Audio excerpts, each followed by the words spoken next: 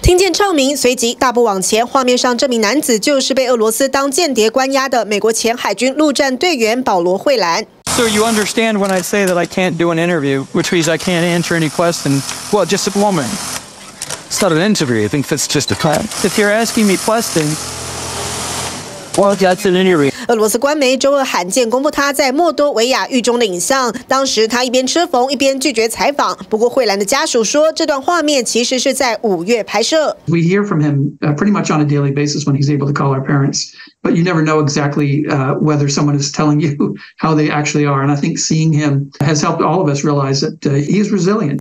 俄罗斯二零一八年逮捕惠兰后，二零二零年以间谍罪判他十六年徒刑。去年美国曾尝试以俄国军火之王布特一换二，一次换回女篮球星格林娜和惠兰，最后却只成功换回了格林娜。But it was reassuring to see that he remains, and this is to use his brother's words, unbowed. Paul continues to show tremendous courage. Russia should release him immediately, and and that is something that again we have been. very Consistent about.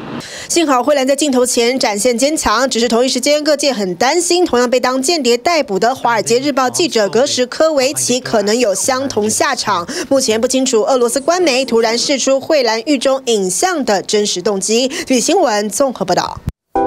想看最完整的新闻内容，记得下载 TVBS 新闻网 APP。